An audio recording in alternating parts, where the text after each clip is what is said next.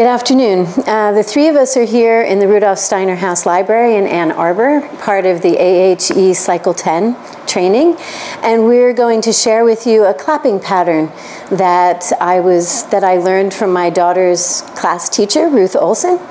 Um, and I have used in many classes, so we're going to share this with you. Has three different patterns. Okay, so the first pattern goes like this, starting with your right foot.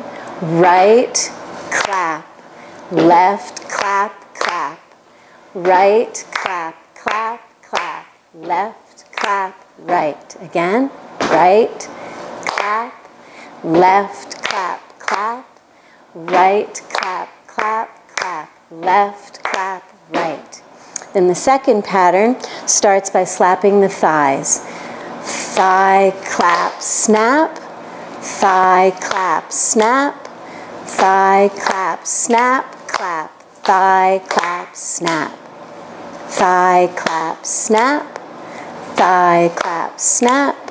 Thigh, clap, snap, clap, thigh, clap, snap. Then the third rhythm starts with a clap and a swipe. Swipe, clap, swipe, clap, swipe, clap, snap, clap, swipe. Clap, swipe, clap, swipe, clap, swipe, clap, snap, clap, swipe. Then once the children, you would introduce these to children beginning late second grade, third and fourth grade. And when you introduce it, you would start with the first pattern until they really have that pattern in them. Then introduce the second pattern a different day or a different week. And then introduce the third pattern. And once they have all three patterns, you can do them together as a round. And that's what the three of us will show you. Okay, so you can start.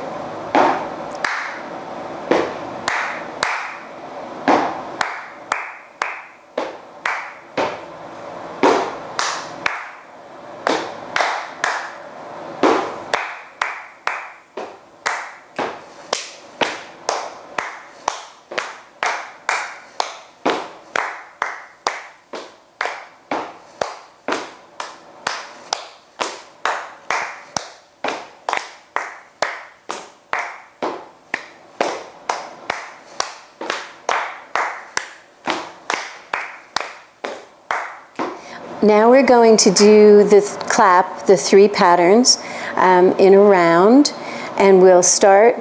And we, when you teach this to the children, you start slowly. And once you feel that they really have these rhythms, it's a lot of fun to increase the speed.